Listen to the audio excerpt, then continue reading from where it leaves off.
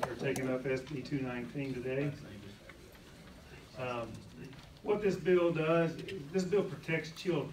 Uh, I know that's one of our most important jobs as lawmakers, legislators, parents. But it doesn't matter how small a group that, that group of children is, it is our job to protect them. I was shocked to learn that we currently have, uh, doctors administrating hormone blockers, cross therapy drugs in the state of Alabama to perfectly healthy children. They have no disease, they have nothing physically wrong with them, okay? So you should not be given a drug, in my opinion, humble opinion, and you're gonna hear from others. We've got doctors on the committee, sure they'll have an opinion.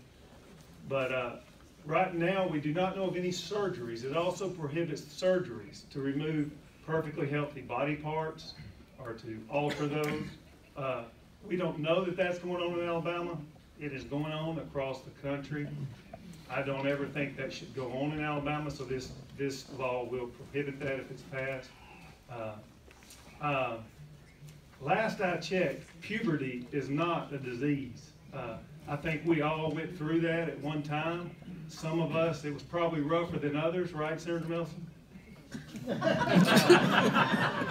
I mean, but last I checked, it's not a disease. It can be a confusing time, but hopefully, most of us don't think the same way we did when we were fourteen. I know I don't. Uh, I wanted to be a professional athlete. Boy, I didn't come close. Uh, you know, so, uh, but this, what this bill does, it does not keep anybody from transitioning later on in life if they want to do that, or if they want to socially transition at thirteen, dress however they want to, does not, does not in any way affect that. It just keeps them from receiving harmful drugs that could stop their natural development, uh, that could have irreversible long-term consequences.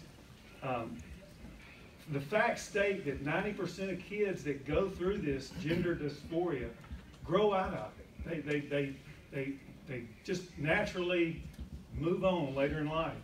So, uh, with that, I, I want to get to the more interesting speakers, and I'll gladly answer any questions that I can later, but I'm sure y'all would rather hear from them. Thank you, Senator Shelnutt.